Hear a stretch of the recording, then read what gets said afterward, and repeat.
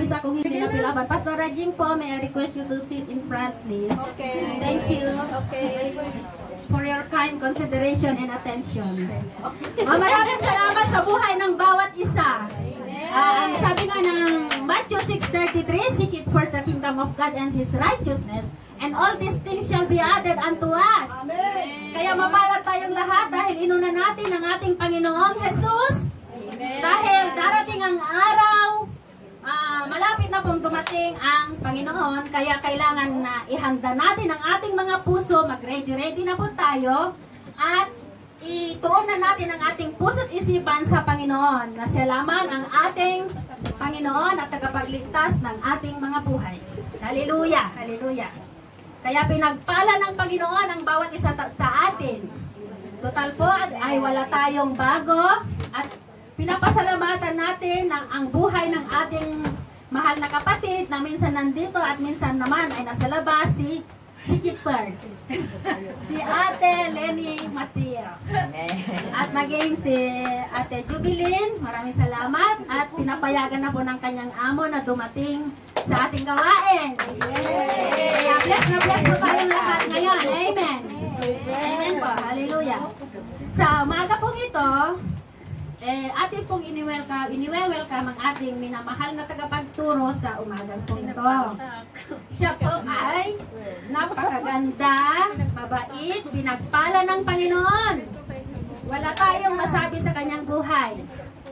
Anointed, dedicated, committed po sa gawain para sa Lord. Hallelujah! Siya ay single, but hindi natin alam kung anong lo- kalooban ng Pan- Panginoon someday. Siguro mag-aasawa na rin po siya. Da- dahil dalaga na si Isabel. Amen?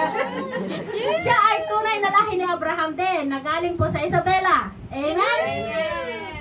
Wala pong iba ang ating pinakamamahal na Pastora Gemaline Pancho.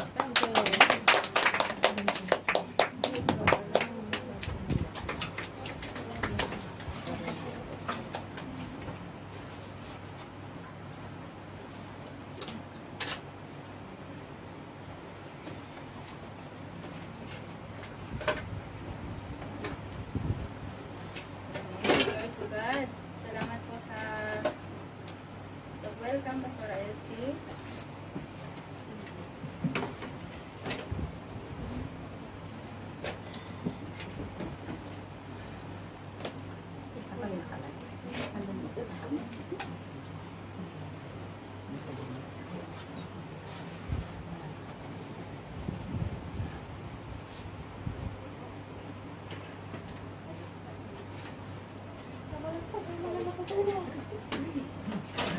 Wala pa kang magising.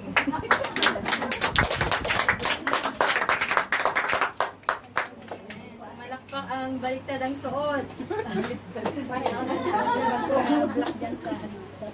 Sorry po. Yan na naman. Yung aking sandata. Ay, nandyan.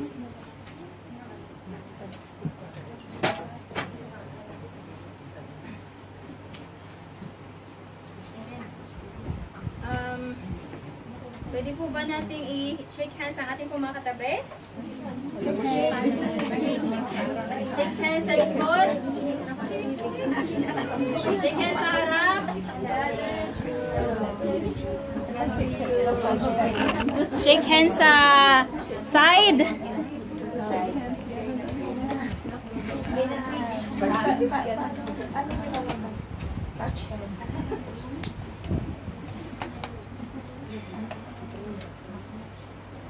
Na-shake hands po ba natin lahat? Natanong ba natin kung anong pangalan? Kilala na?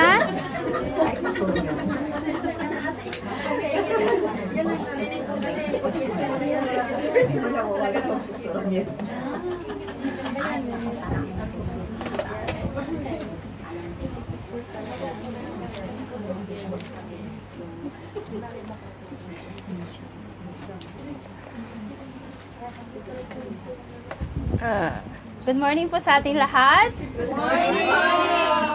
Kayo po ba yung masaya sa araw na ito? Level 1, level 2? Level 3. Level 3? Level 10? Totoo po ba? Pumalakpak naman po tayo sa Lord. Isang malakas na palakpak para sa Lord. Isa pa. Can we shout hallelujah? Can we shout I love you Jesus? I am blessed. I am highly favored. I am anointed. Marami akong pera. Marami akong kayamanan. Paparating, ibibigay ng Lord. Amen. In Jesus' name.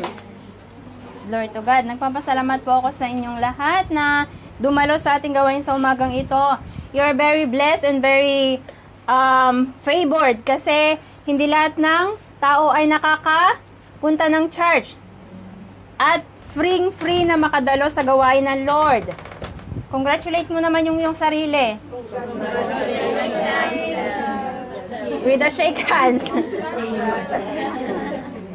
And let's all welcome sa ating mga kapatiran sa Sunday and also sa ating pong pastora ng Yunlong, Pastor Wawi, welcome. Sa ating pong ah, kapatiran si Ate Lenny. Lenny and Ate Janet. Janet the second. Janet 2. Okay po. Ilabas po natin ating mga Bible, ang ating pong mga sandata.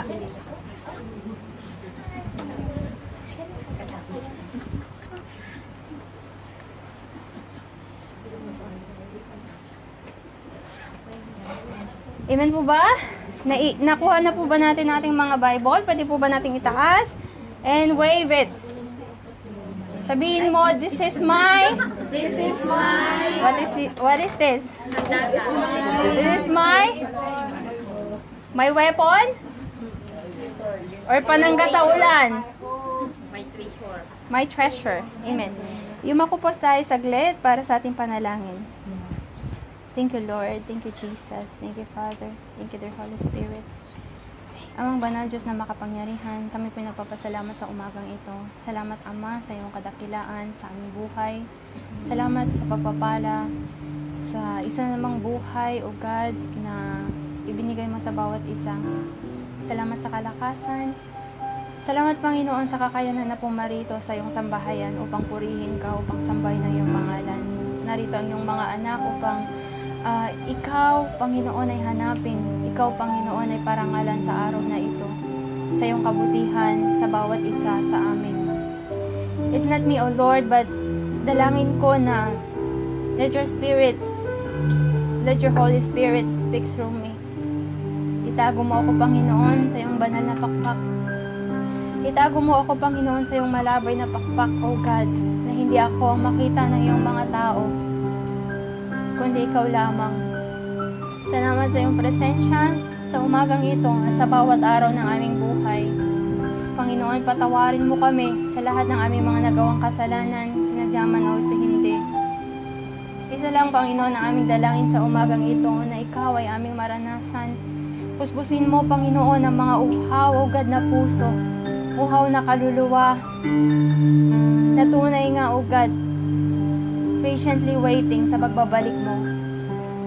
Lord, it's not my will, O Lord, but let your will be done in this morning, O Lord, in this day.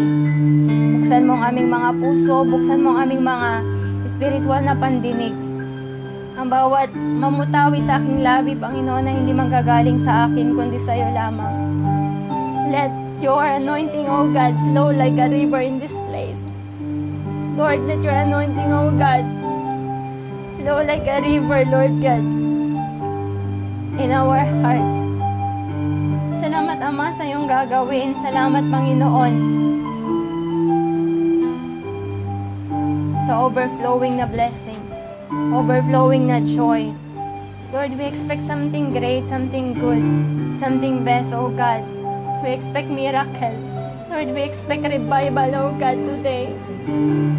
Salamat, Panginoon, dahil ikaw ay mabuti, ikaw ay karapat-dapat. Lahat ng kagalakan o God ay nanggagaling sa iyo. Tunay na kagalakan, perfect peace and perfect joy. To give you all the honor and praise in the mighty name of Jesus, in the mighty name of the Father. For you alone are good. In Jesus' name we pray. Amen.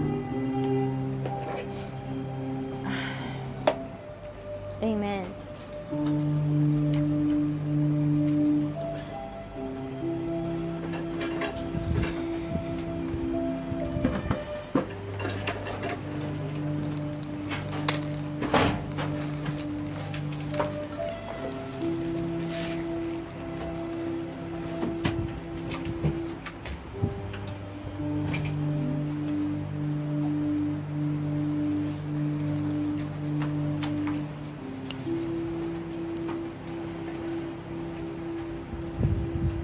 Handa na po ba tayong matulog? Say amen sa mga inaantok. Say amen sa mga pagod. Walang pagod? Amen. Amen. The Lord will revive us today. Amen. Okay. Buksan po natin ating mga Bible. Sa lahat po ng may Bible at sa mga ang cellphone ay gamit, sundan po natin ang ating text sa araw na ito sa Psalms 85. Salmo 85.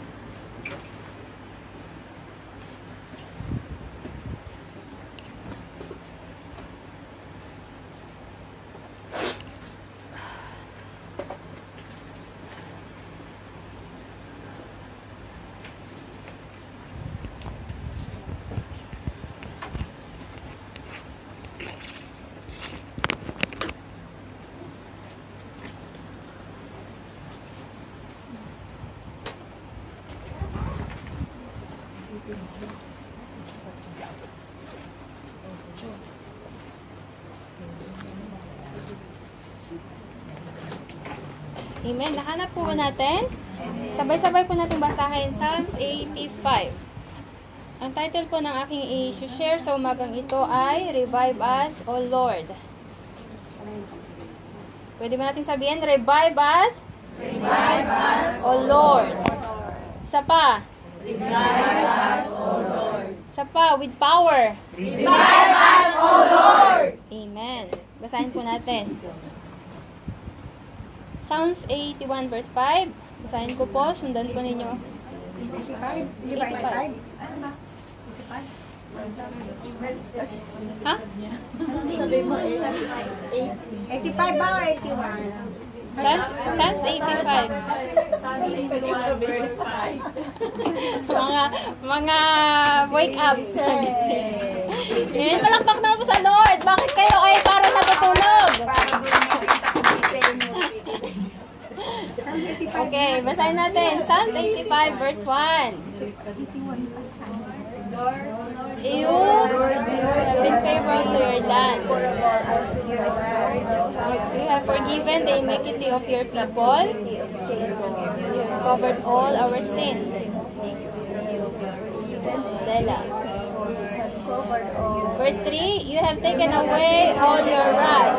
You have turned from the fierceness of your anger. Verse 4, Restore us, O God of our salvation, and cause your anger toward us to cease. Verse 5, Will you be angry with us forever? Will you prolong your anger to all generations? Will you not revive us again, that your people may rejoice in you? Verse 7, Show us your mercy, Lord, and grant us your salvation. I will hear what God the Lord will speak, for he will speak peace to his people and to his saints. But let them not turn back to folly. Verse 9, Surely his salvation is near to those who fear him, that glory may dwell in our land. Mercy and truth have met together. Righteousness and peace have kissed. 11. Truth shall spring out of the earth, and righteousness shall look down from heaven. Yes, the Lord will give what is good, and our land will yield its increase. 13. Righteousness will go before him, and you shall make his footstep out of ang Diyos pong magpala sa kanyang mga salita. Amen. kung narinig po natin ang salitang revive, ano po ang una nating maiisip? Revive. Restore. Sa Tagalog ay Pagbabalik loob. pagbabalik pagbabalik ng ano? Pagbabalik. Panapanahon pagka kataon revive. Ang ibig po sabihin ng revive ay restore to life or consciousness. Revive means bring to life or recover. For example po, may isang tao na nalulunod. Ano po ang ginagawa para ma-revive? Mouth to mouth? Ano pong tawag dun sa mouth to mouth? CPR or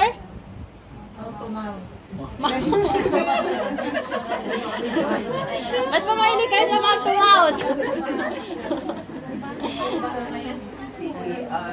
CPR or may isa pang word na, na sinasabi. Res, resuscitate.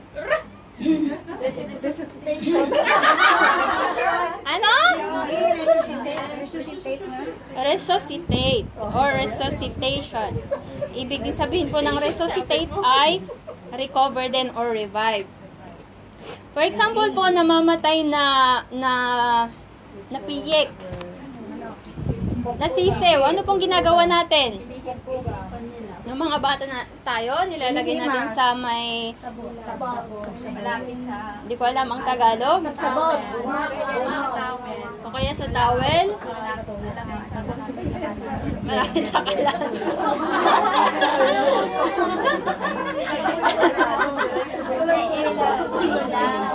Amen. Hindi ko po alam kung effective yung mga paraan ninyo. Pero yung sa amin po ay iniihipan yung kanyang puwet. Para to revive siya, yung chick, yung sisiw. Sabi ni Pastora Jing, nilalagay daw sa towel. Nilalagay sa malapit sa kalan.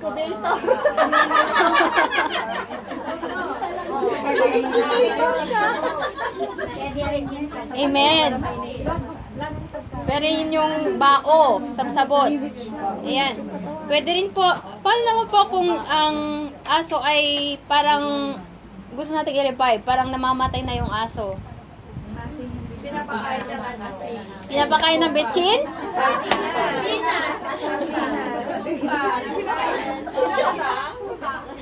Ayan, pinapa. Sa amin noon, pinapakain namin ng asukal. Ayan, at iba-iba pa kung iba-ibang paraan para to revive. Amen. Nagets na po natin ang ibig sabihin ng revive. Amen po ba? Paano naman sa tao? Nung ginagawa para ma-revive ang isang tao?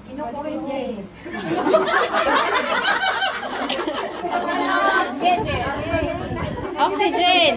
Eh, hindi ko po alam kung anong ibig sabihin nung... Chest pump? Na ganun. Pump or something para ma-revive. Okay. Mais na po tayo sa revive. Amen po ba? Amen. Okay. Sons. Nawala. Uh-oh.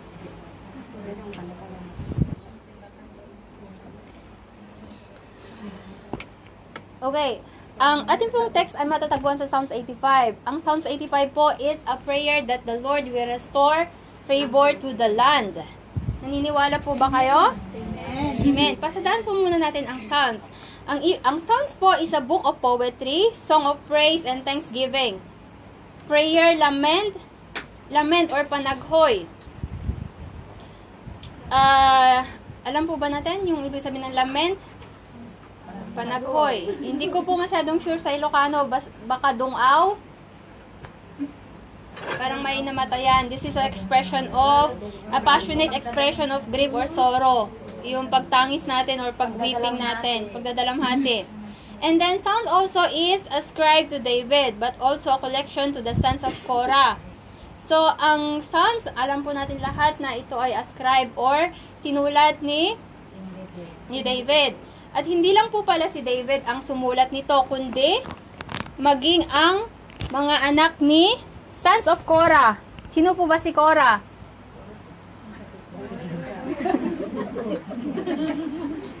si Korah po ay ah, from the from the descendants of Moses.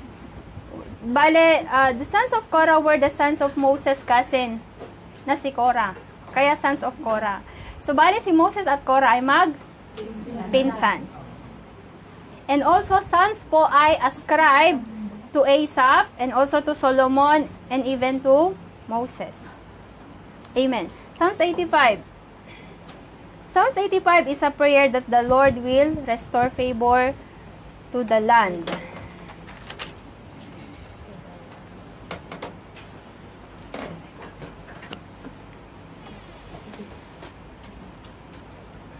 Tisa mo ate. Welcome po sa ating kapatiran.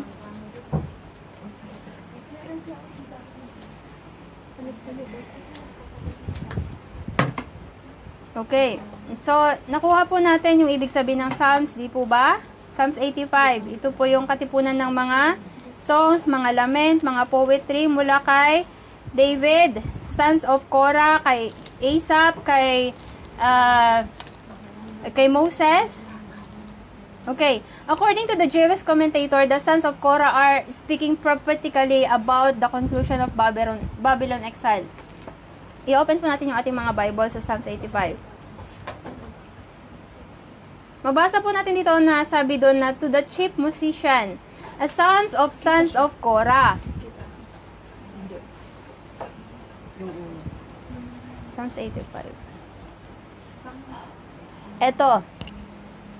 Ang pinakabuod po ng Psalms 85, ito po bale yung, 'di ba, isinulat ito ni Korah ng sons sons sons of Korah which means it is a prophetically about the conclusion of Babylon exile. Marahin sabihin nyo na ang Psalms ay sinulat ng parang ito yung mga poetry, kumbaga talaan ng mga ng mga poetry yung yung mga tag dito yung mga nakaraan na na mga past nila nila nila David, nila King Solomon, and all over the history of the Bible. Pero ang Psalms 85 po, ang pinakabuod po niya is, ito po yung sinulat ng Sons of Korah na prayer. Prayer po para sa for the Lord to restore the favor of the land. Eh, kasi po no, noon po ay uh, Narito yung tinatawag na Babylon exile o Babylonian captivity. Kaya po nasulat ang Psalms 85. Diba, sinulat ito ng sons, o, sons of Korah. Dahil ito po yung pagtangis nila noong pagkatapos ng Babylon exile or Babylonian captivity. Ano po ba yung Babylonian exile or Babylonian captivity na sinasabi natin? Pagsakop na mga. Kung aralin po natin ang, ang Bible mula sa mga um, scholars ng Bible, ito po ay ang the period in a Jewish history during which a number of people from the ancient kingdom of Judah were captives in Babylon. Ito po pala, ang Babylonian exile na tinatawag or Babylonian captivity, ito po yung mga Jewish noon. History ng Jewish na kung saan a number of people from the ancient kingdom, ito po, ancient kingdom of Judah, sabi dito, ito yung mga Jewish. Kung saan na-exile po sila sa Babylon, Babylonia, which means, ang Babylonia po sa, sa this time is, ano po ba ang Babylon for this uh, time now? Greece. Greece? Uh, I think it's a part of uh, Iraq na po siya ngayon, ang Babylon. Anyway, ang exile po na ito ay nahayag 48 to 70 years, di ba? Na-captive ang mga Israel for 48. Na-held sila ng mga Babylonian Empire within 48 years. Hamakin nyo yon 48 years, ang tagal. For, pero all in all, the captivity in all over the Bible is ma, ma-sum up po siya totally 70 years of captivity ng Babylonian exile.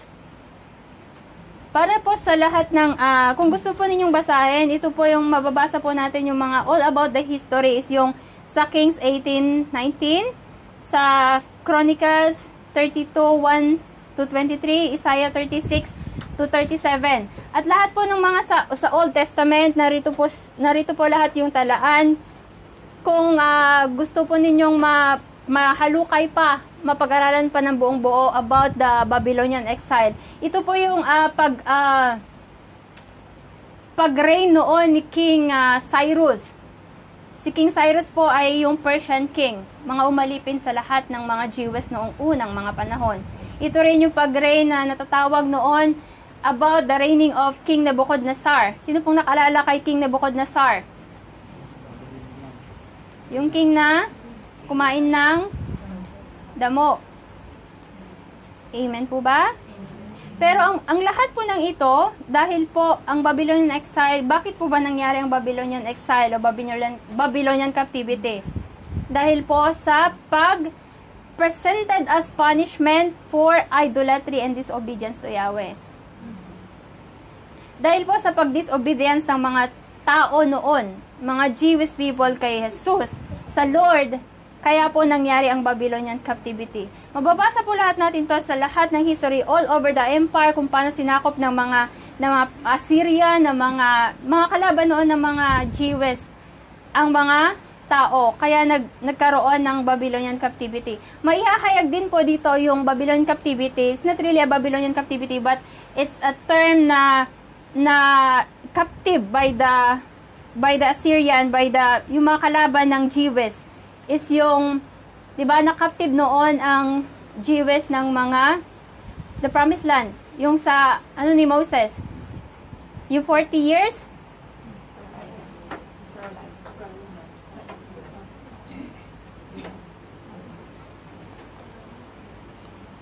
Okay. So, after God's people returned from Babylonia, so bali po, yung mga tao noon, di ba, na-captive na sila.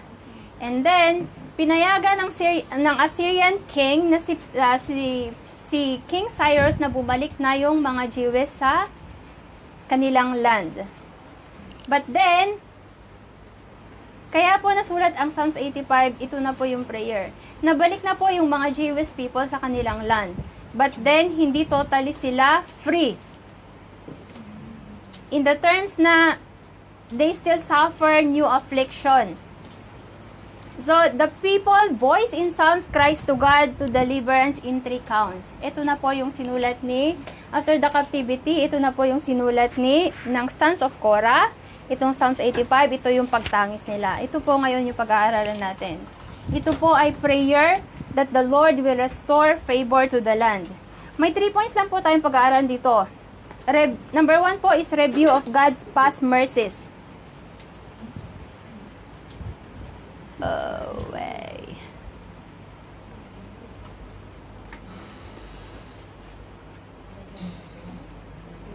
Ayan, number one points po tayo dito as review of God's past mercies.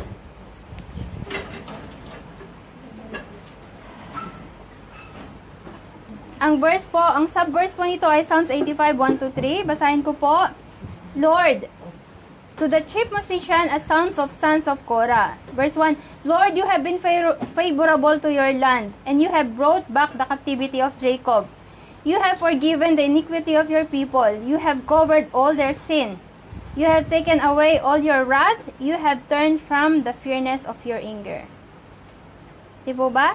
Ang pagka-exile ng mga Jewish noon sa Babylonia ay dahil sa kanilang pagsuway. Ang review of past mercies, sabi doon na Psalms 85, 1 to 3. Ito po yung subverse niya. Sa past mercies, ano po ang ibig sabihin ng past mercies? Mga nakaraang mga nakaraang biyaya ng Lord, mga nakaraang awa ng Lord sa Jewish people. Dahil dahil ah, kung gugustuhin po ng Lord na hindi sila kawaan ay kung gusto lang ng Lord na hindi sila ibalik sa sa promised land, sa land ng mga Jews ay siguro for, forever na po silang ma-exile ng Babylonia. Amen po ba? Sumigaw po ng amen ang mga inaantok. Amen. Ito lang po yung buod niya. Sabi niya doon, mababasa natin, ito yung pagtangis ng, ng sons of Korah. Ito pa, review of God's past mercies. Kung basahin po natin ang verse ng 1 to 3, dito po niya sinasabi yung pagtangis niya, Lord, ang buti-buti mo noon. Lord, you have been favor, favorable to your land. You have been brought back the captivity of Jacob. Diba? You have been forgiven the iniquity of your people. Diba? Ang mga tao noon ay napaka Matigas ang ulo, mga suwail, pasaway. Eh, sinabi na ng Lord na ganito ang gawin nila, pero hindi nila ito ginagawa, kundi yung gusto pa rin nila ang kanilang gagawin. For example, noon sa, sa 'di ba, na-captive nung, nung mga Israelites sa, sa Israel, ah, sa Egypt. 'Di ba? Ah, sabi ng mga, na, na mga, mga ngaral ng Bible, siguro they can walk Seven days daw. Compared to 40 years silang nag likaw-likaw sa wilderness. Na hindi sila, hindi nila matigas ang ulo, hindi nila, ah, hindi sila naglilisan sa Lord kung ano ang ang ah, direction ng Lord sa kanila. Hindi. Dahil gusto pa rin nila ay ginawa nila. Sabi din sa verse 3, You have taken away your wrath and your turn from the fierceness of your anger. Diba dati, galit na galit ang Lord, pero dahil sa habag ng Lord, dahil, dahil kahit pa man sila ay masuwael, binigyan pa rin sila ng awa ng Lord. Amen. Ito po yung key point natin, review of the past mercies. Kagaya po sa ating buhay, 'di ba? May mga past mercies din po ba tayo sa ating mga sa ating mga buhay? Marami, hindi nating mabilang, 'di ba? Amen. From rag to riches. Dati ang hirap-hirap ng buhay natin, but then ang Lord ay inihaon tayo sa hirap. Sino bang mag-aakala na ngayon ay nandito ka sa Hong Kong? Amen. Diba? Dati nagtatanim-tanim lang tayo ng mga kamote, mais, palay, tabako, sardinas. Pero ngayon ay, tignan mo naman yung, yung katabi mo, donyan-donya na. Amen! Everybody say amen! Amen! Okay, second points po tayo. Napukaw. Hallelujah, Lord. Ayan, number, number two na po tayo. Recognition of God's present anger. Nung bumalik ang mga Jewish sa, sa land nila, di ba, sinabi ko kanina na nakakaramdam pa rin sila ng mga affliction. Although, sa number one kanina ay, ay nireview natin yung God's past mercies. But then, sa part 2 ay meron pa rin po yung recognition of God's present anger. Mabasa natin dito sa verse 4 to 7. Sabi dito, Restore us, O God, of our salvation, and cause your anger toward us to cease. You will be angry with us. Will you be angry with us forever? Will you prolong your anger to all the generations? Verse 6 po, Will you not revive us again, that your people may rejoice in you? Diba pag po ang ating mga amo ay galit, ano pong ginagawa natin? Naglo-long face po ba tayo? Nagdadabog. Sino yung amen? Nakalong face Naka-long face or ano pa po yung ating mga ginagawa? lago sa kwarto. Nagtatago sa kwarto, kunwari may ginagawa, pero nagtatago sa CR at nagdudot-dot. At kung ano-ano pa. Minsan umiiyak, iniiyak na lang sa Lord yung ating nararamdaman. Ganun din po sa mga Jewish noon. They recognize also God's present anger. Galit na galit ang Lord sa kanila dahil sa kanilang pagsuway. But then they still alam mo yung relasyon na father and son na kahit galit kayo sa anak ninyo na gumawa ng something bad, meron pa rin yung love, yung pangunawa nyo sa kanya. Hindi yung totally na nagkasala siya as a punishment to punishment na totally wala na. ang mga Jewish people noon, they recognize also God's present anger. Kaya sabi doon sa verse 4 and 6, basahin po natin, Restore us, O God of our salvation. salvation. Nagmakaawa po sila, and cause your anger toward us to cease. Ano, sabi, ano pong ibig sabihin ng cause your anger toward us to cease? Nag-desire sila na sana ang galit, ang puot ng Lord ay humupa na. Amen. Amen. Sabi sa 5 naman, Will you be angry with us forever? Tatay, nanay, magagalit ka ba sa akin forever? Sabi din po ng mga Jews, Will you be angry for us forever? Will you prolong your anger to all the generation, sa kaanak-anakan, buong henerasyon? Will you not revive us again, that your people may rejoice in you? Di ba pag napatawad natin ang ating mga anak na nagkasala ay marirevive yung joy, yung relationship. Ganun din po sa recognition of present anger ng Lord sa mga Jews noon. Amen. Okay. Point number three na po tayo. Um, revelation of God's future salvation. Revelation of future of God's future salvation. Ano pong ibig sabihin nito? Sa Psalms 8 to 13, basahin ko po ulit. I will hear. Paano ba nare-restore ang isang tao? Tinalakay natin kanina kung paano ma-revive ang isang chick. Paano ma-revive ang nalulunod. Ngayon naman po, how to revive God's future salvation.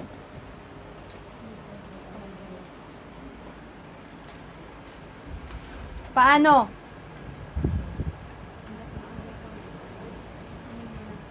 Humingi ng patawad, magbago, Serve the Lord our God. Basahin po natin. Verse 8 says, I will hear what God the Lord will speak.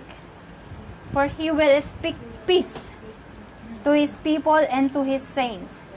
But let them not turn back to folly. Diba? Pakikinggan ng Lord ang lahat ng ating mga hinaing. Kung tayo po ay nagkasala, hindi lang tayo nag humingi ng tawad, balik ulit humingi ng tawad, balik ulit. Amen po ba? Sabi sa verse 9, Surely His salvation is near to those who fear Him. Surely. Ano yung ibig sabihin ng surely? 10%? 9%? 100%. Surely His salvation is near to those who fear Him sa mga may takot sa Diyos. The glory may dwell in our land. Ang sinasabi po dito na land in exception sa land for the earth and land for our own self. Yung ating kalikasan bilang tao. Verse 10, Mercy and truth have met together. May mag-asawa. Si Mercy at saka si Truth.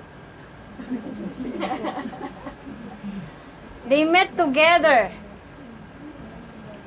How? si Mercy o ang ang Tagalog ng Mercy? Awa. Awa. At si Truth.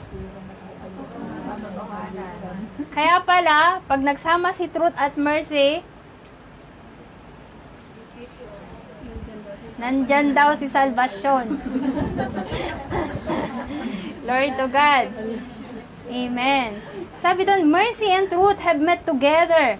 Righteousness and peace have kissed. Paano ba mag-kiss ang righteousness and peace?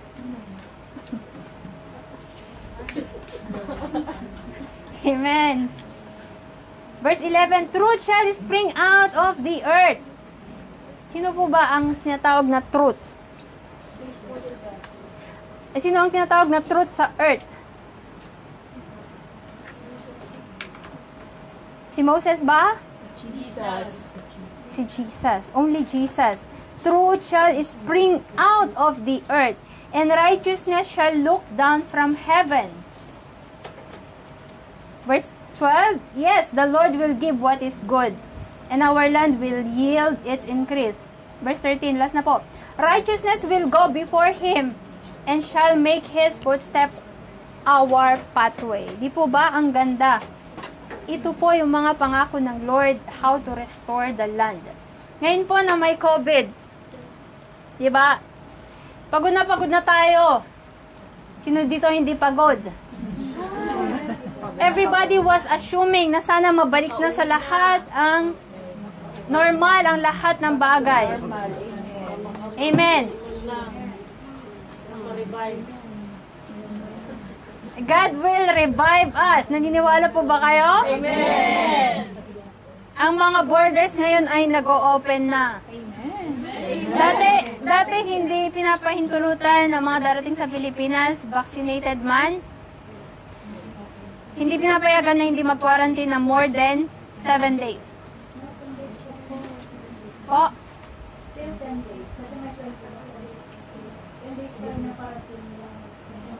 Yes, 10 days, but on the process na, it will be on 7 only. Pero ang ipaprocess ng Lord, wala nang quarantine. Amen! Amen! Di po ba ang saya-saya nun? Isipin nyo, imagine nyo, pag nakauwi na kayo, tayo.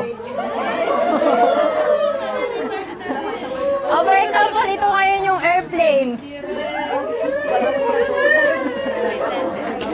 Ladies and gentlemen, fasten up your seatbelt. We are now ready to flight. Di ba? Na-miss po ba ninyo yung mga unan na dinala ninyo noon? Yung mga unan at mga kumot na inuwi ninyo.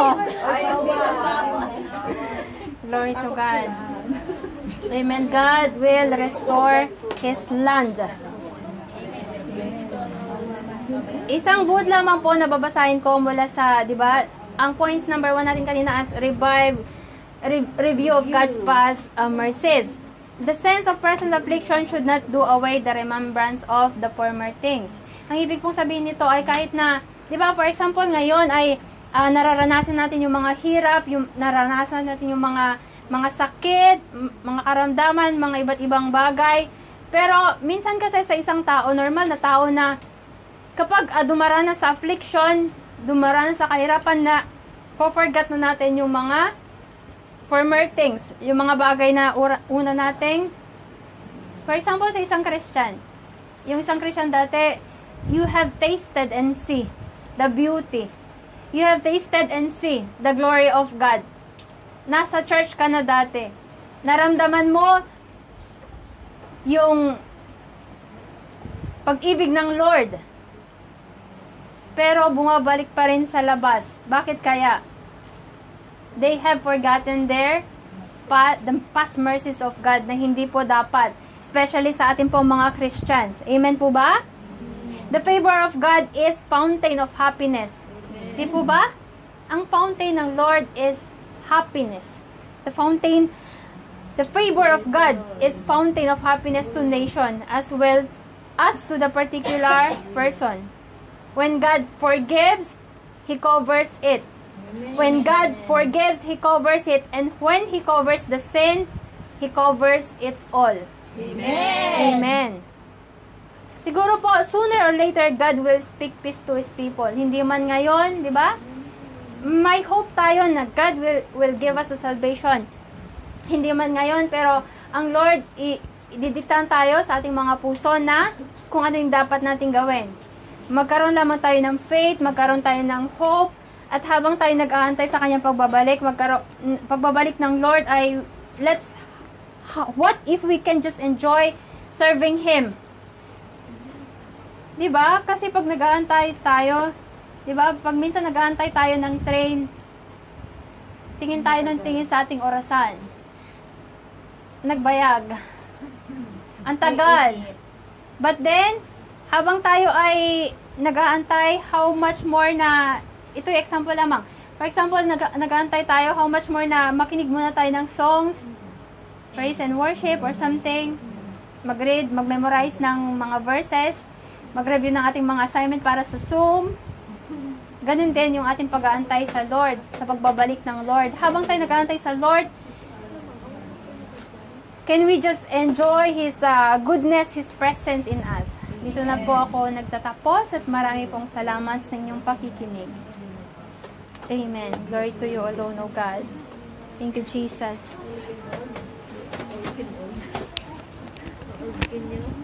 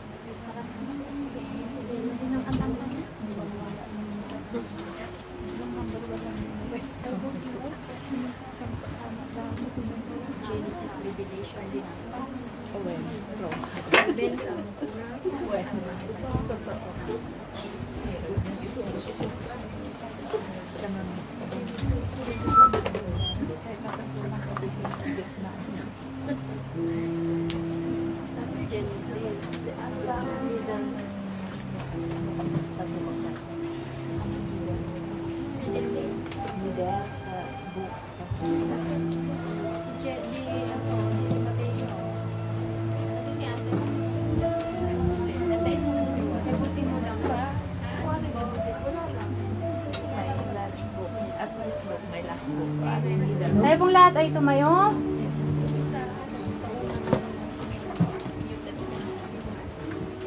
Type ko yung pajama. pajama. Totoo lang. We love you, Jesus. Amen. Thank you, Jesus. Panginoon, salamat po, Ama, sa araw na ito.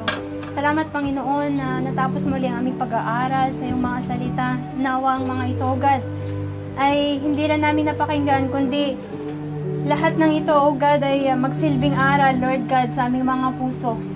Magsilbing guide namin, O God, sa paglakad namin patungo sa iyo, Oma.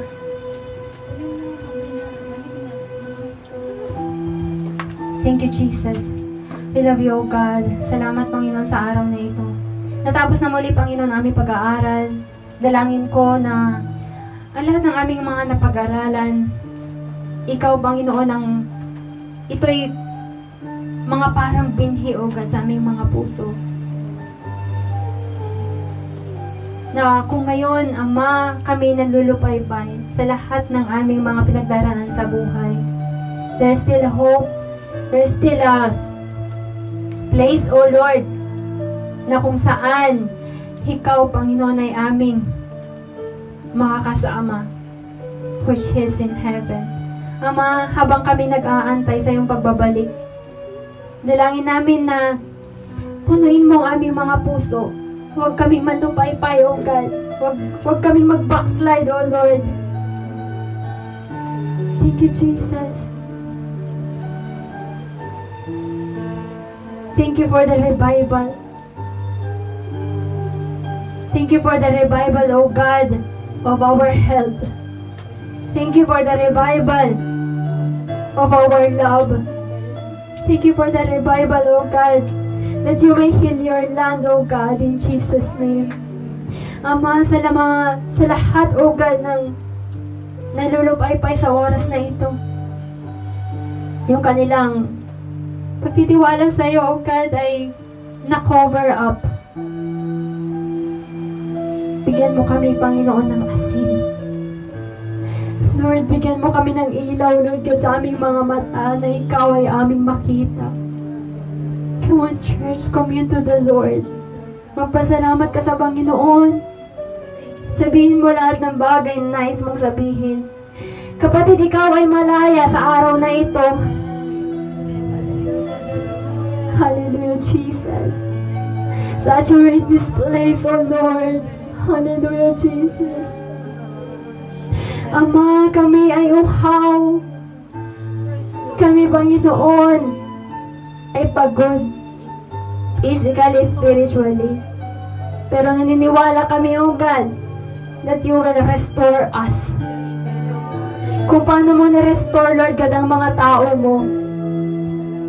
Your people, O God, you will also restore us today. you will also restore us today, O God. Thank you, Jesus. Come on, church. Sabihin mo mga bagay-bagay na gusto mong i-restore ng Lord sa buhay mo. Health, wealth, relationship,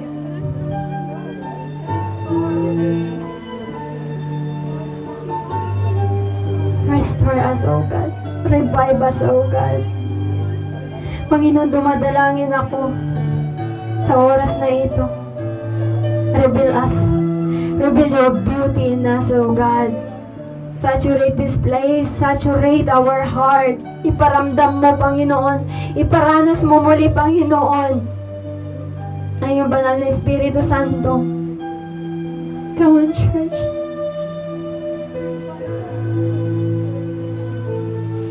Amen and amen. Hallelujah. Oh, Holy Spirit. Oh, hallelujah. Salamat, Panginoon, sa araw na ito. We bow down unto you. God, wala po kaming kayang gawin, oh God, kung wala ka sa aming mga buhay. Kami sumasamo, Panginoon. That you may heal your land, oh God. Restore your land, oh God. Restore your people, oh God. Sa lahat ng mga iniquity, O Lord, mga nagawa namin, O Lord, patawarin mo po kami. Ang iyong pag-asa, O God, ay nanggagaling lamang sa iyo. Restore your land, O God, kami pagod na, Panginoon. Oh, hallelujah, Jesus. Hallelujah, O God. Bigyan mo kami, God, ng pag-asa sa araw-araw. Mga pamilya namin, God, tinataas namin sila sa iyo. Mga employers namin, Ama, dito sa Hong Kong, buong sambahayan, O God, ng GCTV, O God, revive us, O God, yung mga nanilupaypay na kaluluwa, nanilupaypay, O God, na pananampalataya, God. Restore us indeed, Lord. Lord, kami sumasama, Panginoon. Ng restoration ng revival, O God. In Jesus' name. Restore the happiness in our hearts. Restore the loyalty in our heart. Iyong puso, Panginoon, bigyan mo kami ng puso mapagpakumbaba. Bigyan mo kami ng puso, Panginoon, na buong buo, God na sumunod sa iyo. Ano man, Lord God, ang aming lalakaran. Lord, ano man, Panginoon, yung hirap na aming pagdadarasan. Oh, Jesus. Hallelujah to your name. Mga sakit, mga karamdaman, hindi namin ito pinapahintulutan sa aming mga buhay. Ano mang gawa ng kaaway sa aming mga pamilya, hindi namin pahintulutan in the mighty name of Jesus. Lord, restore your people, oh God. Oh Jesus. Walang karapatan ng kaaway. Any evil spirit, any evil thoughts in our minds, For no weapon forms against you shall prosper. Oh, Jesus. Hallelujah, oh God.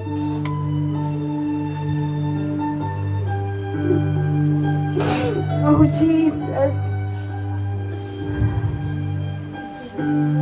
Come on, church. Can we just bow down, sing this song as a prayer to the Lord sa kanyang katapatan sa buhay mo?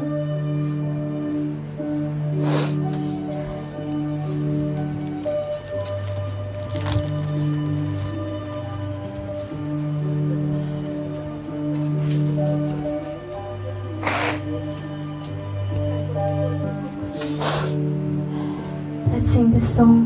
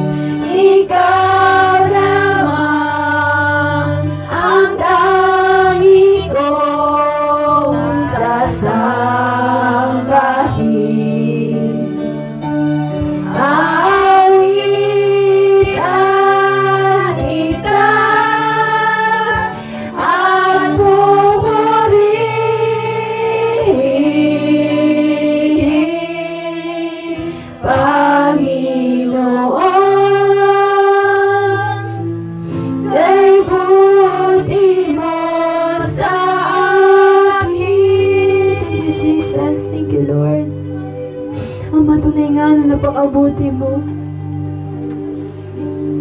Thank you, Jesus.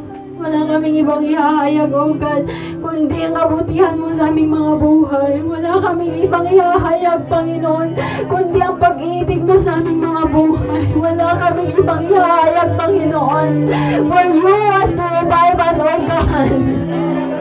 Lord, tinatanggap namin ngayon pa man, oh God. Lord, ang revival, oh God, sa aming mga puso, sa aming mga isip,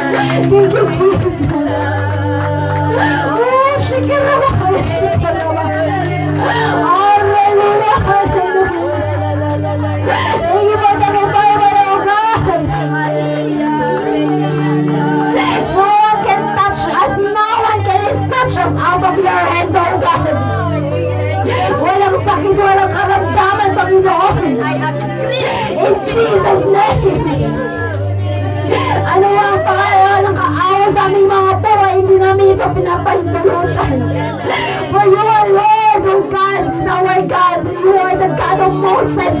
You are the God of Jacob. You are the God of your people, oh God. In Jesus' name. Thank you, Jesus. Request everyone sa mga kapatiran na may karamdaman I, please, I request all the pastors to pray for them. Come on in front.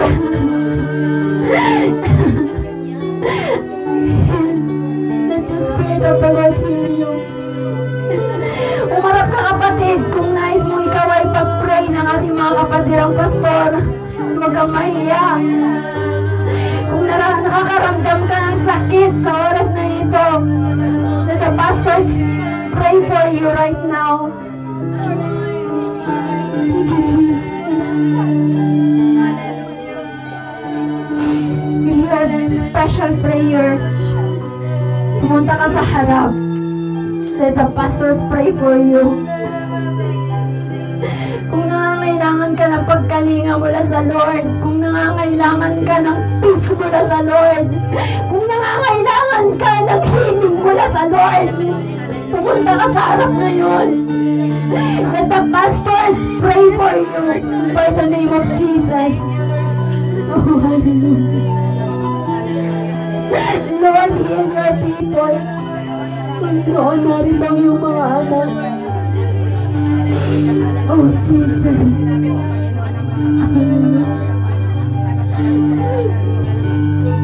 Hindi kami papayag, Panginoon, na hindi namin maramdaman ang iyong anointing sa araw na ito. Hindi kami papayag, Panginoon, na hindi namin makuha ang hiling mula sa iyo, Panginoon. Na ikinawad mo na sa iyong mga anak sa oras na ito, sa araw na ito.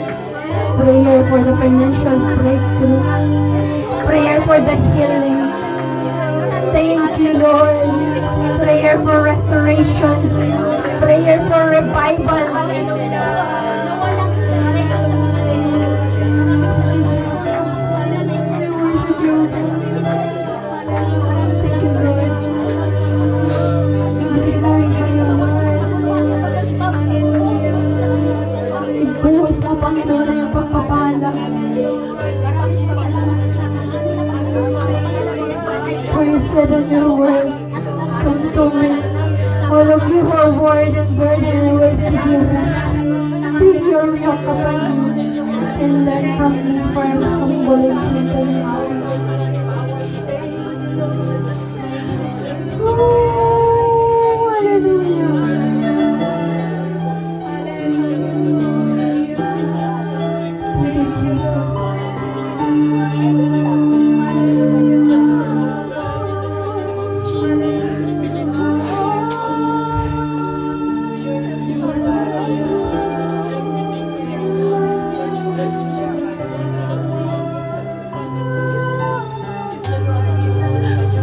Lord, you are so good. Hallelujah.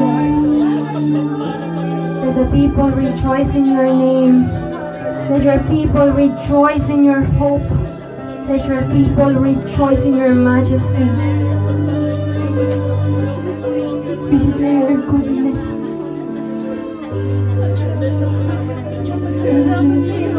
Lord, hindi namin matapos-tapos, Lord. Ka sa aming mga puso ay tuloy-tuloy, Ama. Ito ay parang bukal, Lord, na nagkagaling sa'yo. this place. Ang manunod mo kami, Panginoon, na yung presensya, na yung banal na presensya, oh God, sa umagang ito. Hallelujah.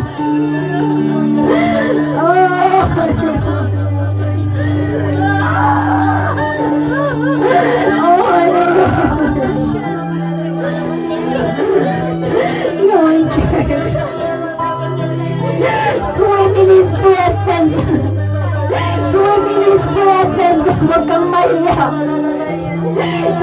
sabi ng Pala Espiritu sa'yo, gawin mo. Ikaw ay malaya. Ikaw ay malaya sa araw na ito. Ikaw ay malaya sa Pala Espiritu.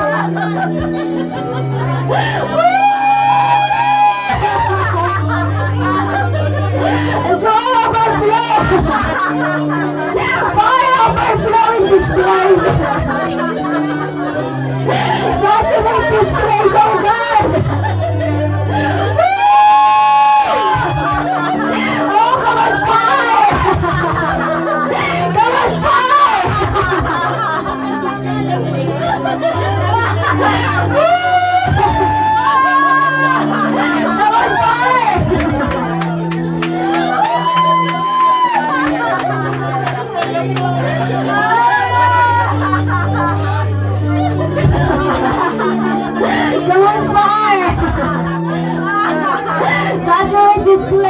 place fire, oh God. Thank you, Lord. Thank you, Lord. We thank you, oh God. Thank you, Jesus. Come on. Come on, fire! Come on, fire!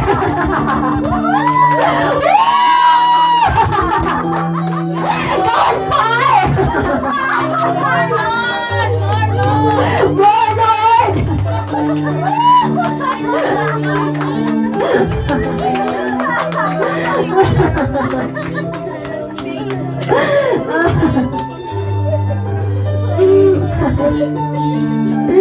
Come on, fire!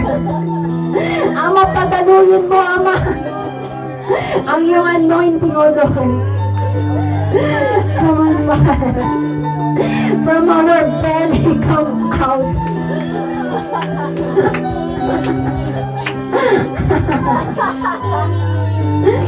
Oh, Jesus. Thank you, Lord. Thank you, Jesus.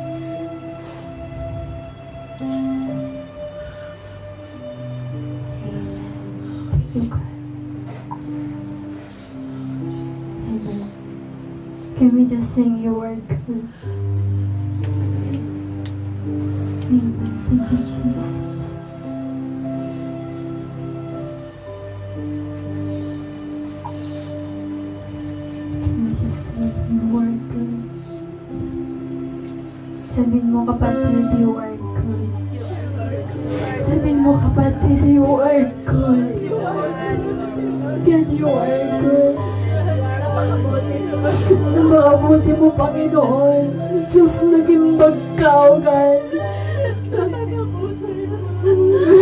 And Lord, kay buti mo sa amin, Ama. Wala kang katulad. Napakabuti mo, Ama. Diyos, naging pagka, Diyos. You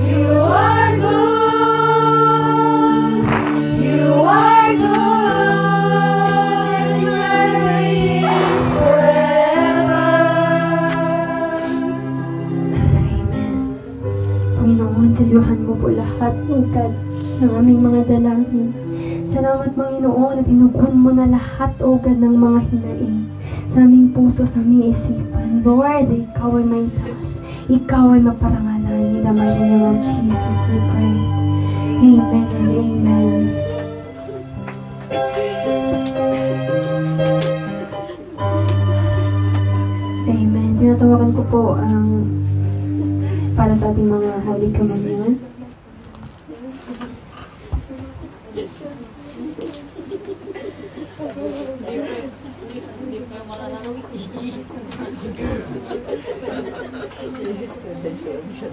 Amen.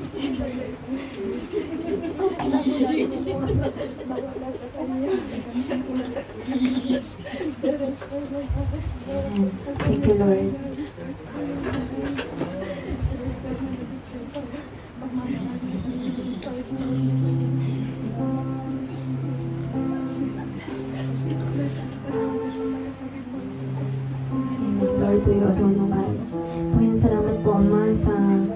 Pagkakataon na muli kaming uh, for us to remember, remembrance once again, Lord, sa pagkamatay mo sa krus ng Kalbaryo. Narito, Panginoon, ang bread and juice na sumisimbolize, O God, na iyong uh, katawan, na iyong dugo na bumububos sa krus. Lord, lahat ng uh, kapatiran ko na humahawak sa mga instrumentong ito, dalangin ko na sila i-bless mo. Ano man, Lord, yung hinihiling ng kanilang mga puso, salamat na pinagkaloob na uwi sa kanilang pamilya sa Pilipinas. Lahat, O God, ang hahawakan ng kanilang mga kamay, bless mo. In Jesus' name, Amen.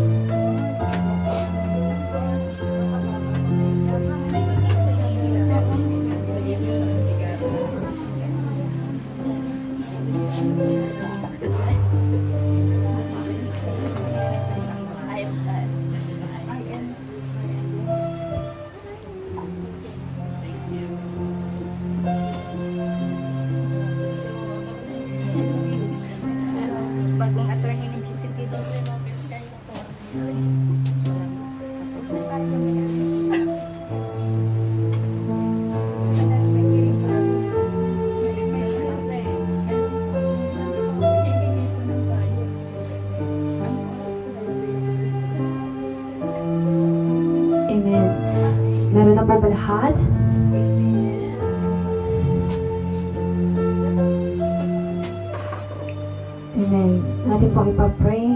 For I received from the Lord that which I also delivered to you, that the Lord Jesus on the same night in which he was betrayed took bread. And when he had given thanks, he broke it and said, Take, it. This is my body which is broken for you. Do this in remembrance of me. In the same manner, he also took the cups after supper, saying, This cup is the new covenant in my blood. This do as often as you drink it in remembrance of me. For as often as you eat this bread and drink this cup, you proclaim the Lord's death until He comes.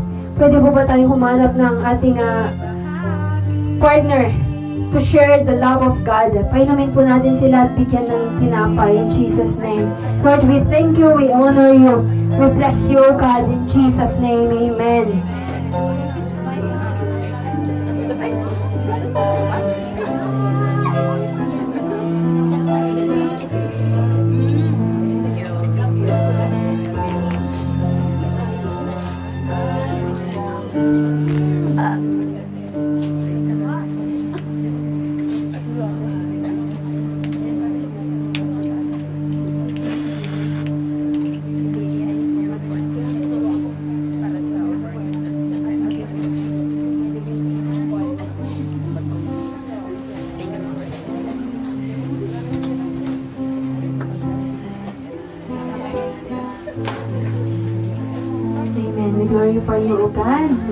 Everybody was blessed. Thank you, Jesus.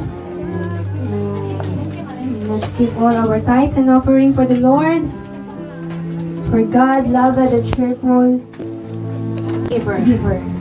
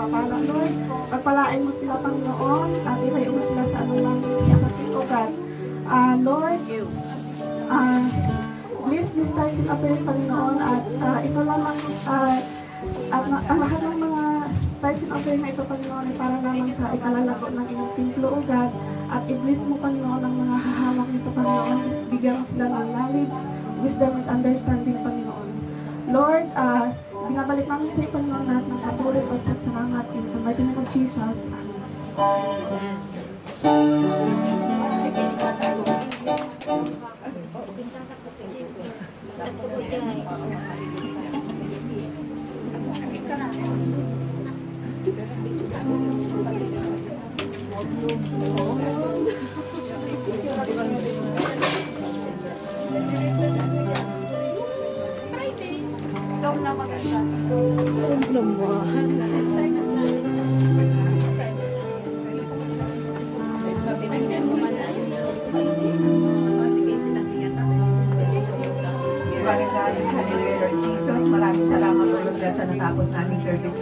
God.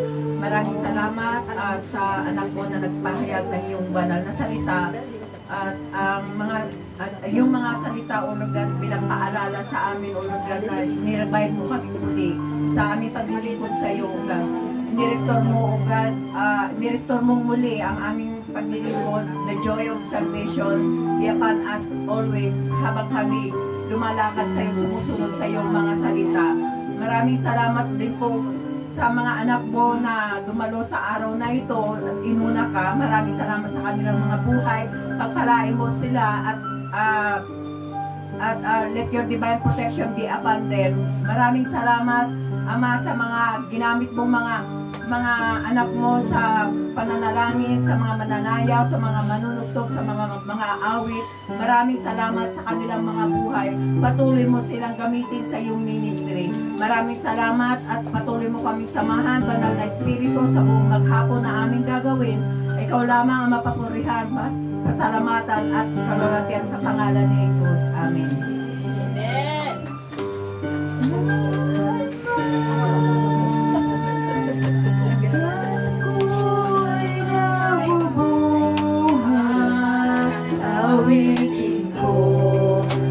Ang